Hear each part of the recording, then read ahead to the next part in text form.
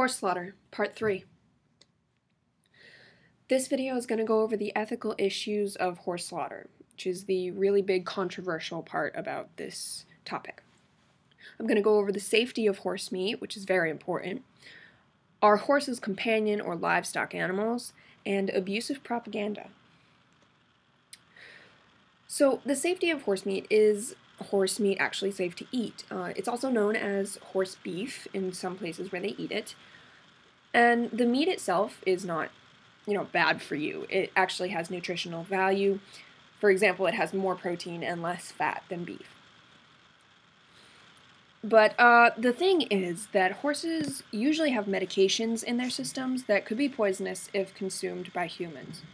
And the reason this is not currently monitored by the USDA is that consumption of horse meat in the US is currently illegal. Now, for anyone who doesn't live in the US, maybe if you are seeing horse meat on your grocery store shelves, be aware that if it comes from the United States, there is no way to know if that horse had medications such as bute, which um, most horse people would know about, but that can be really dangerous. You don't know what's in American horses, so just be aware of that. But um, the thing is that if horse meat were to become legal, I personally think that there need to be some policies in place that aren't currently there.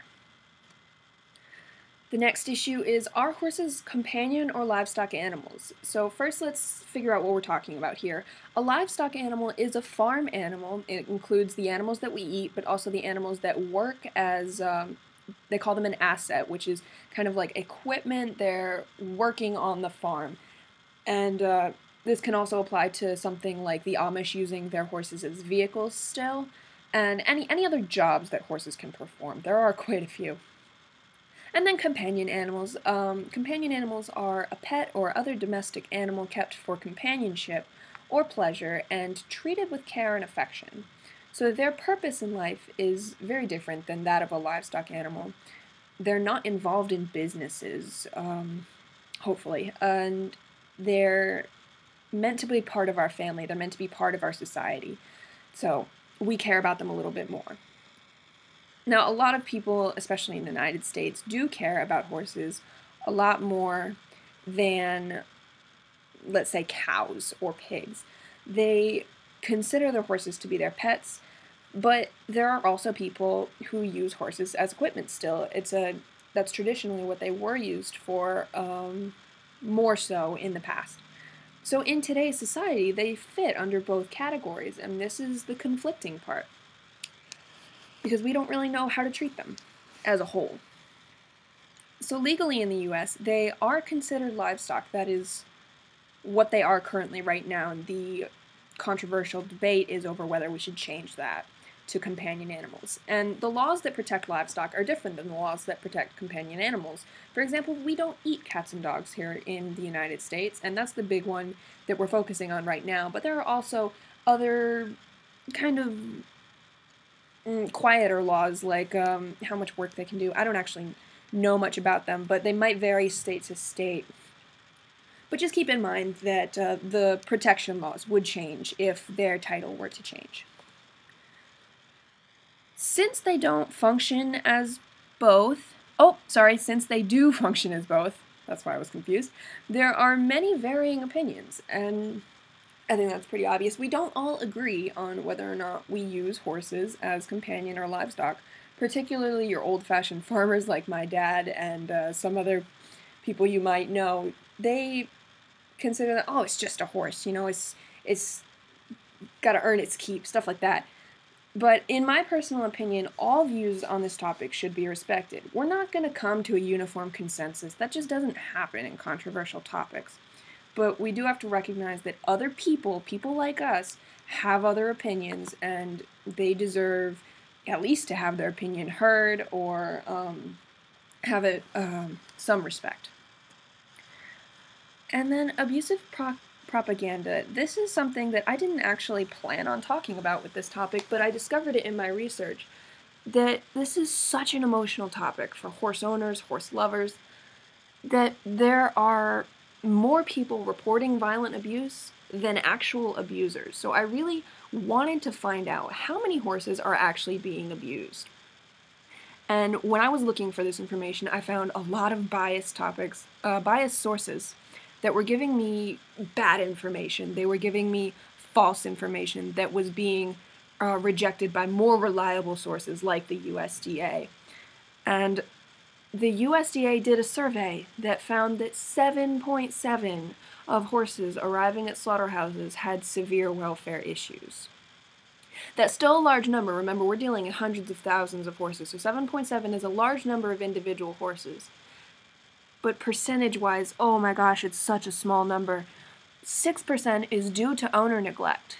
That's previously, before they're even bought by the killer buyers, they've been neglected. And then 1.8% is due to the transportation issues. Uh, let's just assume that's double deck trailers, which are currently banned, and they're working on, you know, getting rid of that. But the way that you would think about it with all the videos on YouTube, with all the graphic images, all of the websites saying don't don't support horse slaughter and all of that, you'd think there's so much of this stuff going on. It's a huge problem. No, it's 7.7%. That means 92.3% of horses are being treated well. They're being treated non-abusively by the horse slaughter industry. And that number, I didn't believe it at first. I'm I wouldn't blame you if you didn't either, but that's a, a legitimate survey. I looked at it from the USDA, and there aren't any other surveys because there's no not enough resources to do much research on this topic. But just keep in mind where you're getting your information from and that it's not completely biased. Uh, the number of sites that are advocating for um, horse uh, treatment, being them treated well, the number of people that are advocating for their rights, that's how I want to word it, there's way more of them than there actually are abusers, and that's a really good thing. It means that they're very well cared about, but just keep in mind the numbers don't entirely correspond. So to recap, we've got the safety of horse meat is right now down the tubes. It doesn't exist. The horse meat is completely unreliable, and that's a big thing that we would need to change if we wanted to legalize horse meat and horse slaughter. And we ha also have to decide are horses a companion or livestock? And my personal opinion on this, I use horses as companion animals. I ride, I groom them, I'm happy to have fun with them, but the thing is that that's not everyone's opinion, and I don't want to take those uh, the rights away from people to use their horses as equipment because they are valuable in that way too. And then just be aware of abusive propaganda that it's not as true or it's not as legitimate as something like an official survey, which we also need more of that, but just keep it in mind. Thank you so much for listening. Uh, animalethicsri.weebly.com is my website. Please go there for more information on horse slaughter and other topics. Like the Facebook page, it's a good way to keep up to date with other topics and get in touch with me if you have any questions. Let me know what you think in the comments, and thanks so much for watching.